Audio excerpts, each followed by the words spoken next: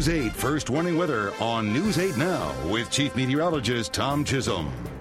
87 degrees, deceptively warm today. Of course, along the coast, a few of us have had some breathing difficulties potentially because of the ozone alert issue. We also have a small craft advisory in effect offshore, not for Casco Bay, but offshore as winds are going to be picking up from the southwest. We have a combo of a warm front and a cold front going by. And so we collect warm, humid air. That is going to spawn some showers and thunderstorms even overnight and off and on during the day Monday before it dries out late in the day. So our sky is going to be chaotic out there. Thunderstorm clouds will build and there'll be significant cloud to ground lightning in some cases. Temperatures tomorrow 80 to 84. Fog stays offshore. But if you're going to the beach or heading outdoors, just keep in mind these thunderstorms can pop up pretty quickly and produce some significant cloud to ground lightning and some squally winds, along with potentially some small hail, especially in the interior. Those begin late tonight.